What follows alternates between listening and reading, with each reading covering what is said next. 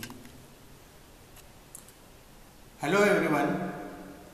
Today we are going to deal with important topic in practical of second MBBS pathology which is the making of peripheral blood smear and answering the viva of that. Now this is important exercise not only for second MBBS but it is also a certifiable competency as per NMC guidelines like uh, taking blood pressure, putting intracath and saline, uh, giving saline to the patient.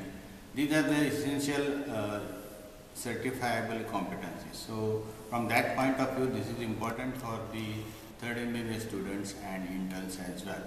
So concentrate on this, uh, the importance of uh, uh, making good peripheral smear it need not be emphasized and oftentimes we have observed that the students fail to make good smear. So first thing is technique, uh, doing the correct and nice smear, staining it and then do it for DLC or peripheral blood findings.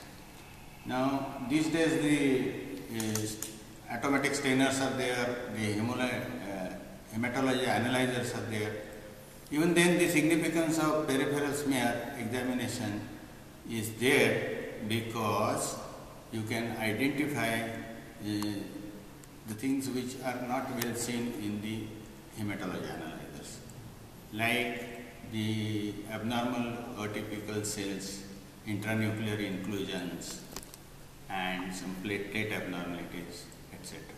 So whatever the flags comes in hematology analyzer, those smears need to be screened by the hematologist or the pathologist to see the abnormalities in the peripheral smear which is excellent guideline for the physicians.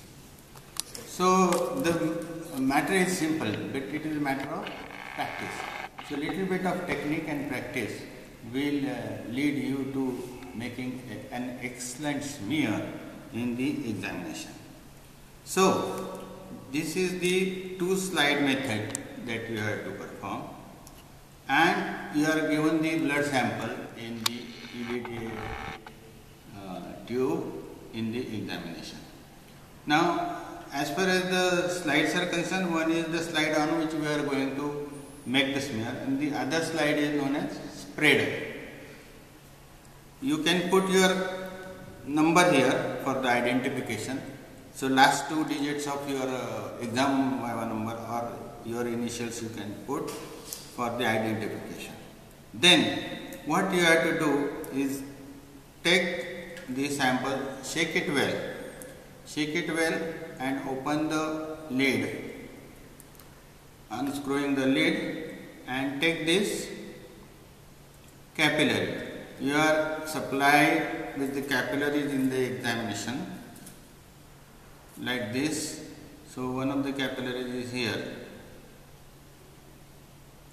So take the capillary and put the drop of blood which is about 2 centimeters. See this. You can also use the toothpick like this or any matchsticks also you can be used. So capillaries are supplied in the practical arm. So this drop, optimum drop is essential.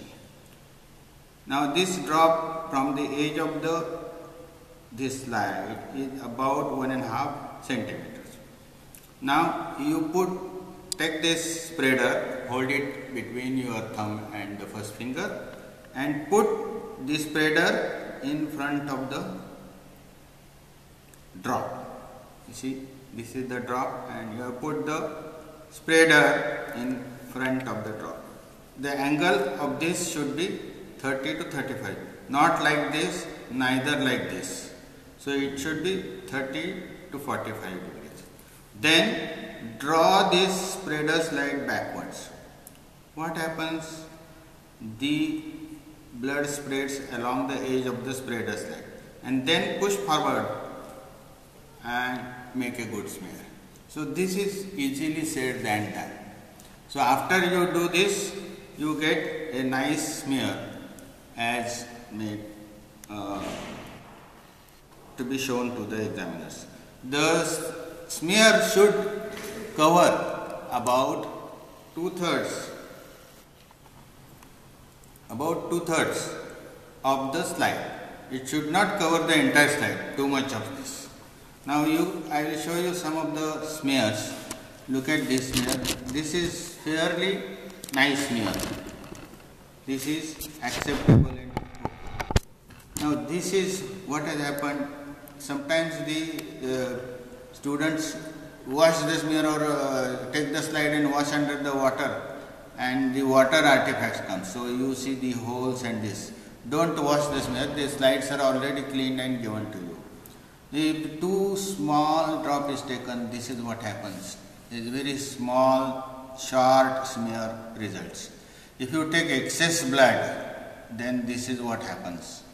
Uh, you get very thick and uh, smear covering the almost entire slide. Now this is the shaky hand and what happens in this case is you take this slide spreader and this hits the finger here and such a type of artifact results. If the end of the slide is like this, then this is known as tailing effect, serrated end. So this should not be there, serrated end slide should not be there. So what we have to achieve is this smear which is having head, body and tail. Let us then stain the slide. Now what is to be done is take the slide and let it dry. Please remember the slide has to dry at the room temperature because if you stain the wet slide it will again lead to water artifacts. So you have to take the slide. Now this I am taking in this with the bars but uh, in the practical hall you will have the glass rods. So you have to put the slide on the glass rods and then you take the Leishman stain which is already there and put the drop of the stains to cover the your smear and count the drops. Now I am putting the drops 1, 2, 3, 4, 5, 6, 7. So 7 drops my smear has been covered with the stain entirely. So after this you wait for 2 minutes or 3 minutes. So different laboratories will have different uh, timings. Uh, 2 minutes and 8 minutes may be there. So or 3 minutes and 7 minutes may be there. So 2 or 3 minutes are for the staining and then you dilute it with the distilled water and that is for the further staining. So here I have done the staining. So after 2 minutes what I have to do? I have to take the distilled water or the buffer and put the additional number of drops. If I have taken 6 drops, put 10 drops. So I am putting now 12 drops, double the drops. So that the entire smear is diluted and covered. You can slightly blow. It should not drain below the slide. So then you have to wait for the 10 minutes or so and classically if the dilution is correct on the surface you get golden hue or uh, metallic sheen as it is seen on the surface. So after that you put it, uh, remove the water and with the wet uh, swab clean the back side of the slide like this let it dry and then do the observation. So, what you get after the staining is something like this. Now, this is the smear which has got three parts head, body and tail. Now the better thing is here. Now this is the tongue shaped smear covering about two thirds of the slide. See, tongue shaped smear covering two thirds of the slide. Now this is the head, body and tail. So what are the parts of the smear? It is head, body and tail. And where do you see your uh, observations? You have to see the observations about 1 centimeter before the tail end. So this is the area of observation because there is natural distribution of the cells in the smear.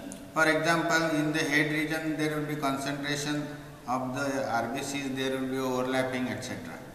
In the tail region you will find more of the neutrophils and platelets and RBCs will be flattened.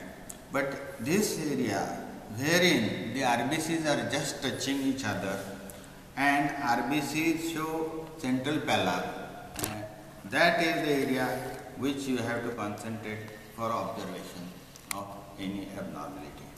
So important thing, the smear has got head, body and tail and the area of observation is about 1 centimeter before the tail.